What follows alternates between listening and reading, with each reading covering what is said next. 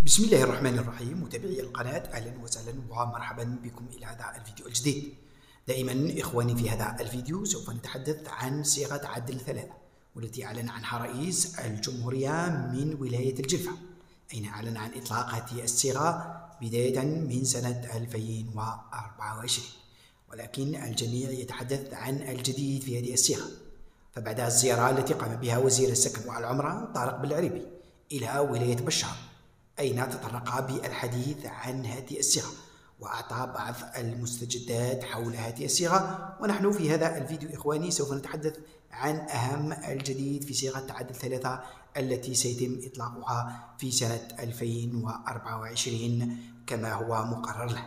أولا نتحدث عن الموعد الحقيقي لإطلاق الصيغة حيث أكد الوزير على أن صيغة عدل ثلاثة يتم إطلاقها سيكون السداسي الأول لسنة 2024 بمعنى أنه سيتم إطلاقها من جونفي إلى غاية جوا في هذه الفترة سيتم إطلاق هذه الصيغة قبل دخول السداسي الثاني. هذا ما أكده وزير السكن والعمران طارق بالعريبي وأكد الوزير إلى أن هنالك عمليات تجري الآن فيما يخص الموقع الذي سيتم افتتاح هذه العملية. أو الأرضية التي سيتم التسجيل فيها حيث أكد الوزير إلى أن هذه المرة سيتم اعتماد نظام صفر ورقة ماذا يعني بنظام صفر ورقة؟ بأن عملية التسجيل لن تعتمد على أي وثيقة يتم دفعها في البداية حيث أكد الوزير على أن حاليا يتم إعادة تهيئة الأرضية الخاصة بعدل ثلاثة حيث سيكون هنالك موقع مخصص لهذه العملية. هذا الموقع سيتم ربطه بعديد الإدارات العمومية على غرار الصندوق الوطني للضمان الاجتماعي للأجراء للأجراء ولغير الأجراء. كذلك سيربط بنظام البطاقية الخاص ببطاقة التعريف الوطني بمعنى أن العملية ستكون إلكترونية 100% إذا من هذا المنبر الآن نوضح للجميع أن وزير السكن والعمران أكد على أن عملية التسجيل ستكون بطريقة إلكترونية 100% وبدون صفر ورقة. هذا ما يعني أنه علينا الآن الاعتماد على ورقة الضمان الاجتماعي أو رقم الضمان الاجتماعي وكذلك رقم بطاقة التعريف الوطني. وتأتي هذه العملية في إطار ضبط كل الأمور خاصة باعتماد رقم الضمان الاجتماعي. أين سيتم معرفة آه، مدخول الشخص الذي سجل في هذا الموقع. هل يتناسب مع آه، وكالة عدل أم لا يتناسب؟ كذلك الرقم الوطني حيث سيتم معرفة موقع وعنوان الشخص بدون طلب بطاقة التع... بدون طلب بطاقة الإقامة أو ما شابه ذلك. بمعنى كل هذه الأمور سوف تعطينا نظرة جديدة عن عملية التسجيل التي ستكون في سنة 2024 أو كما قال الوزير في السداسي الأول من سنة 2024 إذا هنا ستكون عملية خاصة. أولا يجب توفير آه، رقم الضمان الاجتماعي ليستطيع الشخص الولوج إلى الأرضية الرقمية وكذلك رقم التعريف الوطني. كل هذه الأمور ستكون عبارة عن شبكة وطنية سوف ترتبط ببعضها ويتم معرفة كل الأمور عن هذا الشخص وهذا في إطار عملية العصرنة والرقمنة التي تقوم بها الدولة الجزائرية لكافة هيئاتها العمومية حتى يكون كل شيء مسجل في بطاقة التعريف الوطني. وهنا نعرف أن عملية تزوير الإقامات أو تزوير شهادات العمل لن يكون في هذه المرة لأنه سيتم الاعتماد على نظام البطاقية الوطنية. بمعنى أن بطاقة التعريف الوطني سيكون فيها كل المعطيات الخاصة بهذا الشخص ولا يمكنه تزوير أي وثيقة كانت.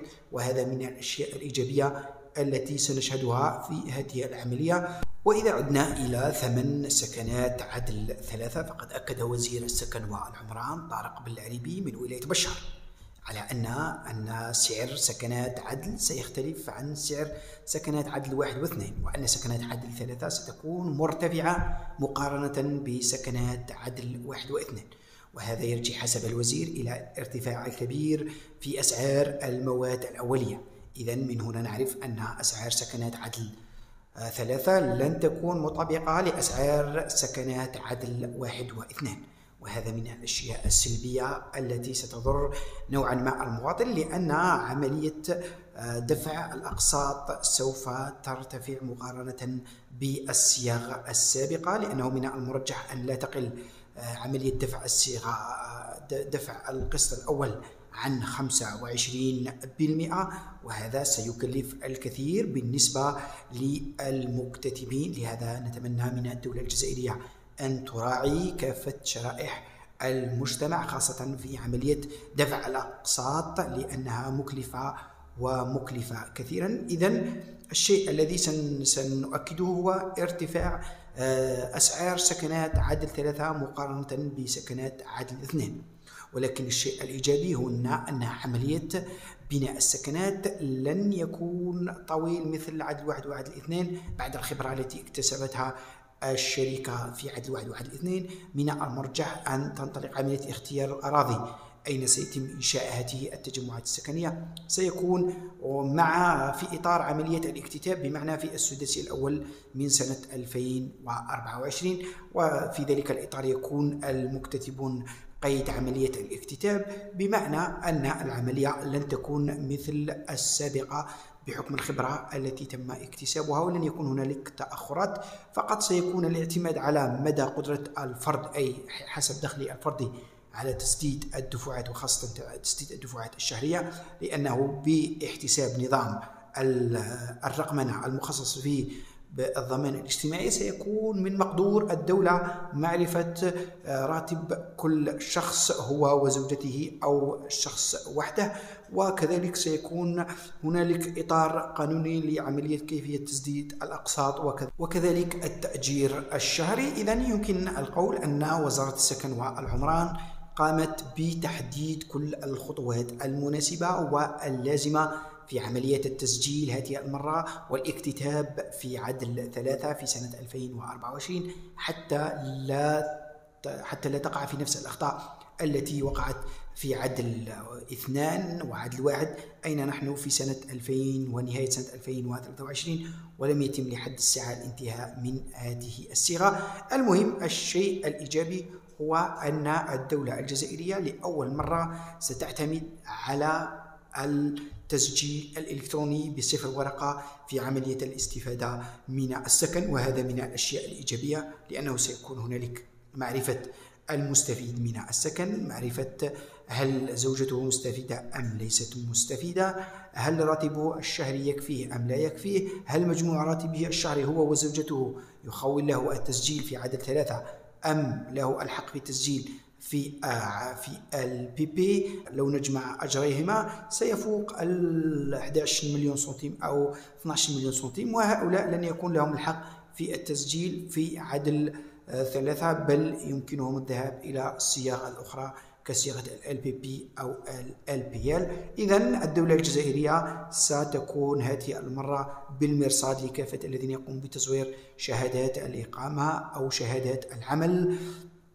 يعني ستكون هنالك خاصية هامة وهامة جدا وهي معرفة كل معطيات شخص بفضل الرقم الوطني التعريفي الموجود في بطاقة التعريف الوطني وبفضل رقم الضمان الاجتماعي. هذا هو الجديد الذي أردت أن أقدمه لكم في هذا الفيديو عن الاكتتاب في عدل ثلاثة والذي سيكون بصفر ورقة حسب ما أكده وزير السكن والعمران طارق. بالعريب في الأخير إخواني إذا لم تكن مشترك في القناة فلا تنسى الاشتراك وتفعيل الجرس وهذا ليصلك كل ما هو جديد. إلى اللقاء.